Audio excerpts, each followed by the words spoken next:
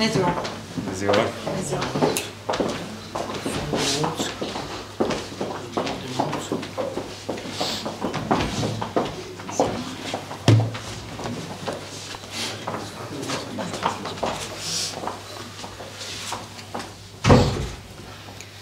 Bună ziua, stimați reprezentanți mass media, stimați cetățeni! Ceea ce urmează să se întâmple astăzi este un nou episod din Teatrul Absurdului, regizat într-o manieră puierilă și în mare grabă. Această încercare disperată de a imita grija pentru problemele oamenilor are un singur scop, să apropie țara de anticipate și apoi fie ce-o fi. Acest guvern nu își dorește să fie votat și nu a întreprins nicio măsură reală pentru a se asigura că astăzi va acumula 51 de voturi. Acest scenariu a fost scris tocmai ca apoi să aibă motive și să învinuiască tot parlamentarii că nu i-au votat. Plimbatul de ieri, prin birourile fracțiunilor, trebuia să se termine cu un exercițiu matematic simplu, număratul voturilor garantate. Dacă candidatul desemnat ar fi avut siguranța că are sprijinul unei majorități, era logic să se grăbească astăzi cu această tentativă de investire.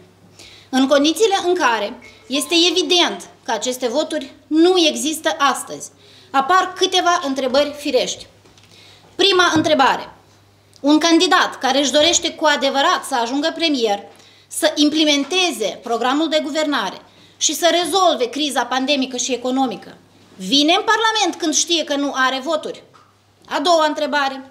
De ce candidatul la funcția de premier nu a ales să amâne prima și unica tentativă de investire, spre exemplu, pentru ziua de marți, săptămâna viitoare, pentru că mai are timp constituțional din cele 15 zile oferite din momentul desemnării și să încerce cu adevărat să negocieze și să convingă deputații ca să fie votat și susținut pe deplin în tot ceea ce și-a propus în program. A treia întrebare. Înțelege oare candidatul desemnat că chiar și o eventuală investire astăzi a unui guvern minoritar, dar fără o majoritate garantată, nu va rezolva nimic din cele promise în program și, în esență, nu se deosebește cu nimic de un guvern interimar.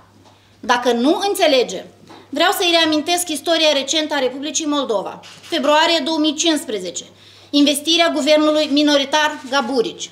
Atunci, marea majoritate a actorilor politici, inclusiv deputați de astăzi, eu, Vasile Bâtcă, Viorel Cibotaru, Maia Sandu, Pavel Filip, Monica Babuc eram miniștri, iar domnul Grosu era viceministru al educației. Păi iată, acel guvern minoritar nu a putut rezolva nimic din ce a promis în ziua investirii, pentru că nu a avut susținerea unei majorități parlamentare.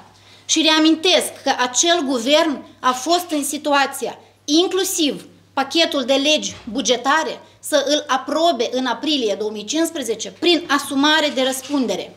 Deci cum un guvern fără susținerea unei majorități ar putea să implementeze tot ceea ce au scris frumos în program? Poate acest scenariu îl urmărește domnul Grosu. Doar vrea să intre în clădirea guvernului, conștient că fără o majoritate nu poate realiza nimic din ce am scris în program. În acest caz, vrem un răspuns. Cu ce este mai bun pentru țară un guvern minoritar comparativ cu un guvern interimar? Răspunsul este simplu, cu nimic. Această șarlatanie politică se va consuma astăzi, intrând în istorie ca o nouă tentativă de PR politic ieftin. Deputații din platforma parlamentară pentru Moldova nu vor susține guvernul Grosu, deoarece acesta este un pseudo-guvern unii impostori din el deja a doua sau a treia oară își încearcă orbește norocul și ambiția de a ajunge ministru, deși până acum au luat zero voturi. Nu vom fi partea unui complot împotriva statului de drept, când se încearcă prelu preluarea puterii în stat de un grup minoritar, în timp ce există o majoritate parlamentară care susține un alt candidat. Cu această ocazie, reiterăm sprijinul pentru domnul Vladimir Golovatiuc, un candidat desemnat de majoritate parlamentară încă la 18 martie. Candidat desemnat pentru funcția de prim-ministru, politician cu experiență și aptitudinile necesare, determinat să scoată țara din impas. Stimați cetățeni, o altă cale de a rezolva criza politică în țară decât de a investi un prim-ministru și un guvern susținut de o majoritate parlamentară nu există. Vă mulțumesc!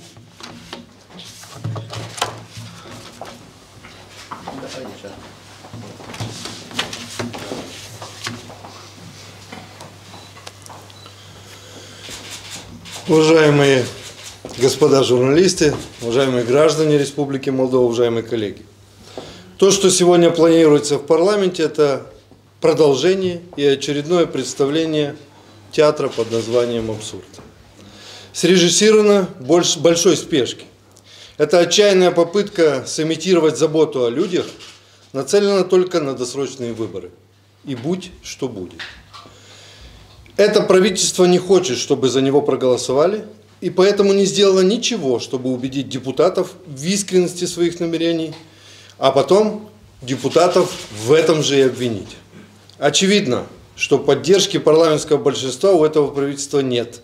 51 голос не набран. Поэтому возникает ряд вопросов у нас и у большинства наших коллег в парламенте. Первый. Зачем кандидату, который действительно хочет стать премьером и вывести страну из кризиса, приходить в парламент, зная, что поддержки он не получит? Второй вопрос. Почему кандидату в премьеры не попросить поддержки парламента, скажем, на следующей неделе? Ведь ему отведено 15 дней.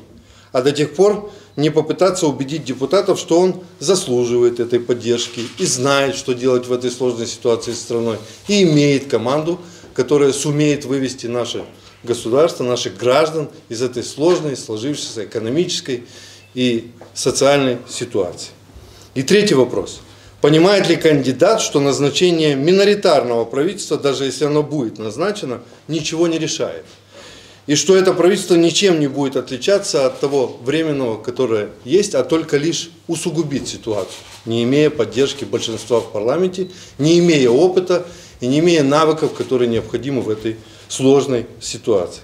Если не понимает, я напомню ему ситуацию 2015 года, когда было назначено миноритарное правительство Габурича, в котором состояли многие нынешние политики, и где господин Гросов был замминистра образования.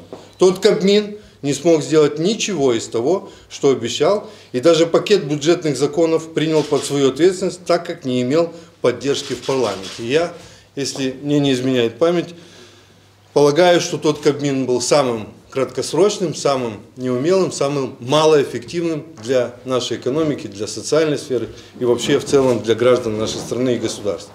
Поэтому мы заявляем сегодня здесь о том, что мы, депутаты фракции ШОР, и мы, коллеги за Молдову, платформы за Молдову, стоим на своих позициях, остаемся на своих позициях, поддерживаем кандидатуру от большинства парламента в лице Головатюка, человека, который обладает теми качествами, которые позволят ему организовать, сформировать достойное, грамотное, профессиональное правительство и вывести ситуацию, сложившуюся в нашей стране, в зону э, стабильности. Мы сегодня свой голос в пользу выдвинутого президентом правительства не предоставим, не отдадим. И еще раз повторяю, настаиваем на законном конституционном выдвижении кандидата от большинства парламента Головатюка Владимира. Спасибо. Олег